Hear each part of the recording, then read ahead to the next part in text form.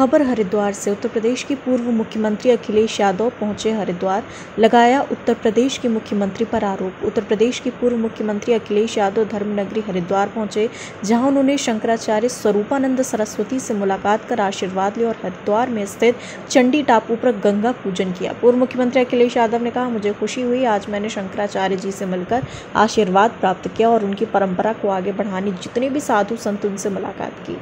इस कुंभ में साधु संत और अपने विचार, अपनी भारत की संस्कृति को जनमानस तक पहुँचा रहे हैं। उत्तर प्रदेश की मुख्यमंत्री के बारे में बोलते हुए उन्होंने कहा, हमारे मुख्यमंत्री पॉलिटिकल पर्यटन कर रहे स्टार प्रचारक हैं। उन्होंने कोरोना ज़रूरी मतलब नहीं समझा। उत्तर प्रदेश में कोरोना की बहुत स्थिति है गंभीर।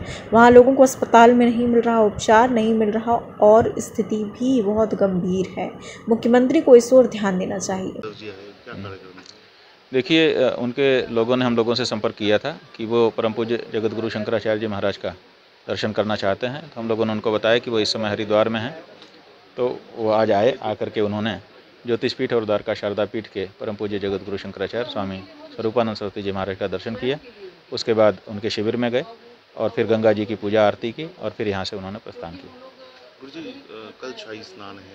हरिद्वार के अंदर श्रद्धालुओं की मुझे मुलाकात हुई है। मुझे बातचीत हुई है मुझे खुशी है इस बात की कि स्वामी जी से मुलाकात हुई और शंकराचार्य जी का आशीर्वाद प्राप्त हुआ लेने में आया उनसे। उनकी परंपरा को आगे बढ़ाने वाले जितने भी संत गुरु हैं उनसे भी मुलाकात हुई है।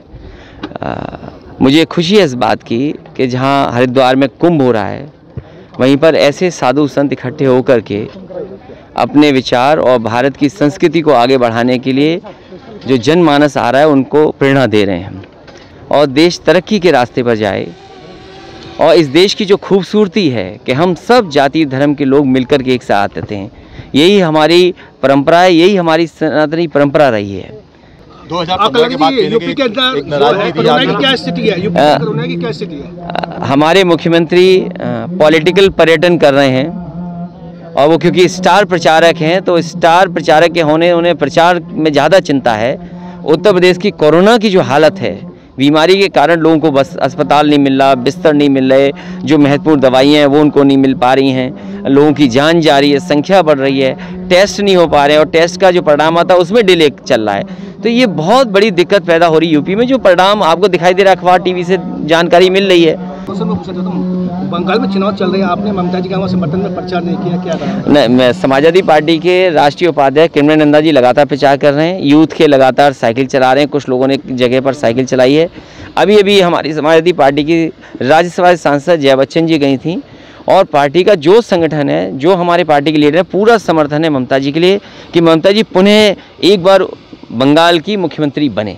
अगले दिन अगले दिन चुनाव आने वाले हैं अगले विधानसभा चुनाव आने वाले क्या समाजवादी पार्टी स्वतंत्र चुनाव लड़ेगी या किसी के साथ गठबंधन समाजवादी पार्टी किसी भी बड़े दल के साथ गठबंधन नहीं करेगी।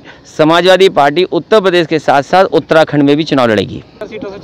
समाजवादी पार्टी बहुत जल्दी ये भी तय कहेगी कि अगले चुनाव में लड़ने वाले लोग जो हैं उनका आवेदन ही मांगेगी और हम अपने संगठन से कहेंगे कि संगठन को दुरुस्त करें जिससे कि पूरी की पूरी सीटों पर समाजवादी पार्टी चुनाव उत्तराखंड में लड़ सके। अगले जी क्या कोरोना को लेकर यूपी सरकार को कुछ सलाह देना चाहेंगे? मैं सलाह इसलिए नहीं दे सकता हूँ कि वो मेरी सलाह नहीं मानेंगे। अपनी तरफ़ से कुछ कहना चाहेंगे? हमारे मुख्यमंत्री इतने बड़े योगी हैं कि किसी भी विपक्ष की सलाह नहीं मान सकते वो। धन्यवाद। खबर भारतवर्ष के लिए हरिद्वार उत्तराखंड से वीरेंद्र रावत की रिपोर्ट। अपने शहर, अपने प्रदेश की ताज़ा खबरों के लिए लाइक करें शेयर करें सब्सक्राइब करें। और हाँ बेल आइकन दबाना ना भूलें, क्योंकि खबर हमारी फैसला जनतंत्र का।